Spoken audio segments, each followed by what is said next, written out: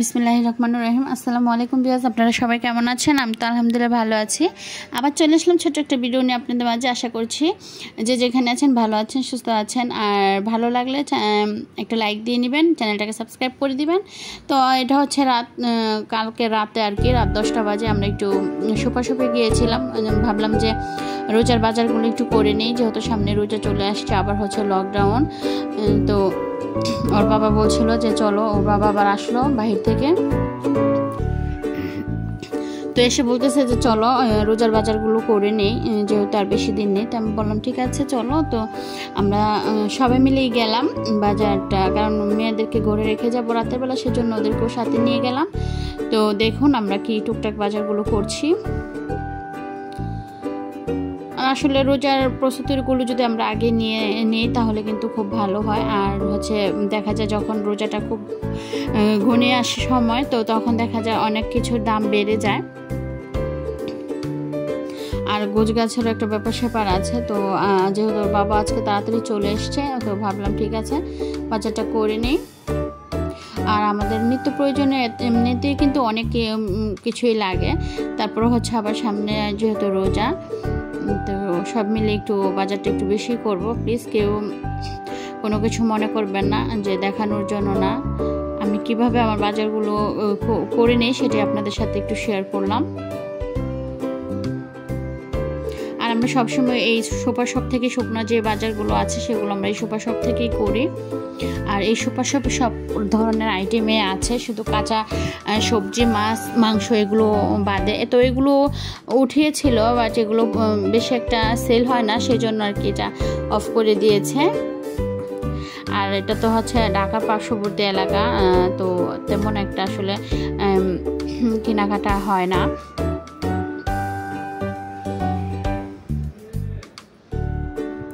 আজকের বাজারগুলো ম্যাক্সিমাম রোজামণি করেছে। তো দেখতে পাবেন রোজামণি টুকটাক কেনাকাটাও করছিল। ও যেটা পছন্দ হচ্ছিল সেটাও ও নিচ্ছিল আর এই সুপার শপটা বিশাল বড়।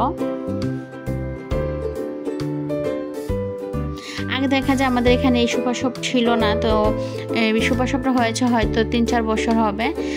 আগে যে কোনো কিছু যদি ওরকম কিছু প্রয়োজন হতো, সেটা আমাদের ঢাকা থেকে আনতে হতো, এদিকে পাওয়া যেত না। বাট এই সুপার শপটা হওয়ার পর থেকে সব কিছুই আলহামদুলিল্লাহ আমরা এখানেই পাই। সুপার শপে গেলে সব কিছুই পাওয়া যায়।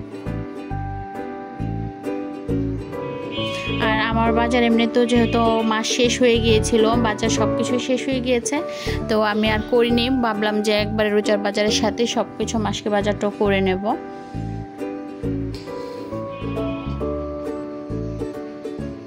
আমরা কেনাকাটা করছিলাম আর ওর বাবা ভিডিও করতেছিল।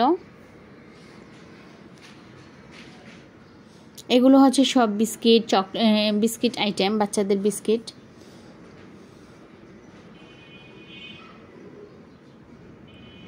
বিস্কিট, চকলেট এগুলো একটু বেশি সুপার শপে। আর এইগুলো হচ্ছে আমাদের রান্নার সরঞ্জামগুলো।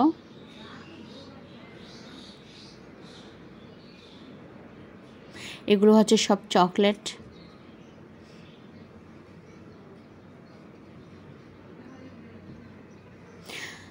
তো এখানে ফ্রোজেন আইটেমগুলো বিশাল দুইটা বড় বড় ফ্রিজে রেখেছে। এখানে ফ্রোজেন আইটেমগুলো সব ধরনের ফ্রোজেন আইটেমে পাওয়া যায়। তো আমাকে বলতেছিল যে ফ্রোজেন কিছু নেওয়ার জন্য। আমি বললাম যে না, আমি এমনিতে অনেক কিছু ফ্রোজেন করেছি আমি নিজেই তৈরি করেছি, সেজন্য আর ফ্রোজেন কিছু নেইনি।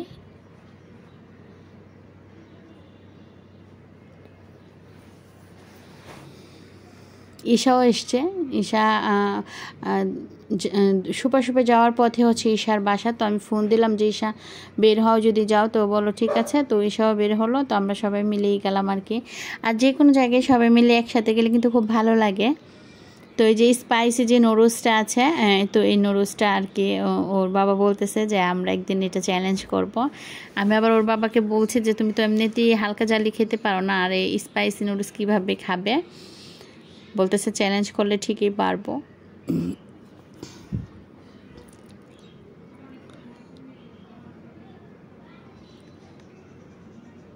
আর যারা আমাকে খুব সুন্দর সুন্দর কমেন্টস করতেছেন, আমার পাশে আছেন, আমাকে সাপোর্ট দিচ্ছেন, সবাইকে অসংখ্য ধন্যবাদ। আর আমার ভিডিওতে অনেক ভুল ত্রুটি থাকতে পারে, সেগুলো অবশ্যই ক্ষমা সুন্দর দৃষ্টিতে দেখবেন। আর আমার চ্যানেলে যারা নতুন অ্যাড হচ্ছেন তাদেরকে ওয়েলকাম আর যারা এখনও ভিডিওগুলো দেখছেন, আমার চ্যানেলটাকে সাবস্ক্রাইব করেনি আশা করছি ভালো লাগে। থেকে একদিন ভালোবাসা হবে, আমার চ্যানেলটাকে সাবস্ক্রাইব করে দিবেন। তো এই যে রোজামণি যে ওর, যে আইটেমগুলো ও সেগুলো কিনে নিচ্ছে আর কি।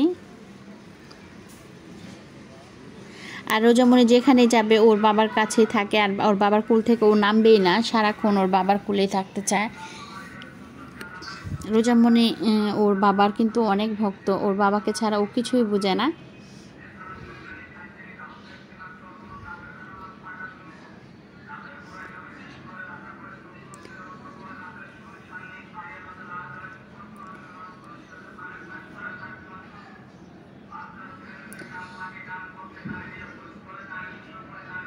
আসলে রোজার মধ্যে শুধু খাওয়াই না, আমাদের আবাদত করতে হয়। হয়তো অনেকেই অনেক ধরনের কমেন্টস অনেক সময় করে থাকেন ভিডিওতে যে আপনারা কি রোজার মধ্যে খালি খাবেন? না, তা না। আসলে রোজার মধ্যে একটু খাওয়া দাওয়াটা সবাই কিন্তু বেশি করে, শুধু আমরা বলে নয় সারা বিশ্ববাসী যারা আমরা মুসলিম আছি, একটু, কারণ ওই রোজার মাসের খাওয়ারগুলো কিন্তু কোনো হিসাব নেই।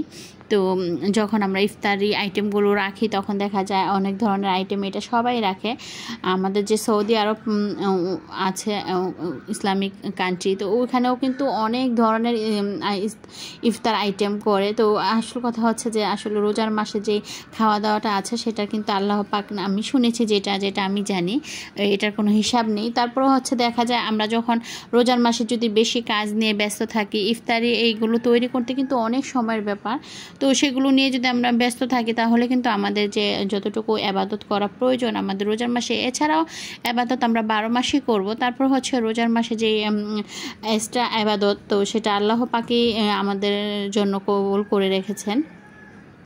তো আমাদের দেখা যা হচ্ছে খতম। তো আমরা চেষ্টা করি যার যার জায়গা থেকে যারা আমরা কোরআন শিখেছি কোরআন খতম দেওয়ার জন্য। তো আসলে যারা সংসারিক আছে আমরা সংসারে কাজ টাজ সেরে তারপরে বাচ্চাদেরকে দেখাশোনা করে তারপর হচ্ছে গিয়ে কোরআন একখান কোরআন শরীফ খতম দেওয়া কিন্তু অনেক কষ্টের ব্যাপার। তো চেষ্টা করি সবসময় কোরআন খতম দেওয়ার জন্য। তো দোয়া করবেন, আল্লাহ পাক যেন এবছর কোরআন শরীফ খতম দেওয়ার তৌফিক দান করেন। আর মাসাল্লাহ আমাদের, আমার দিবারাত্রিও কিন্তু কোরআন শরীফ প্রতি বছরই খতম দেয়। তো ওদের জন্য সবাই দোয়া করবেন। তো এই দিক থেকে হচ্ছে বাবা মেয়েরা মিলেই বাজারটা গুছিয়ে নিচ্ছে। তো আজকে এখানে এই বিদায় নিয়ে নেব। আজকের মতো সবাই ভালো থাকবেন, সুস্থ থাকবেন। আর এই যে সবাই মিললে বাচ্চাটা গুছিয়ে নিলাম।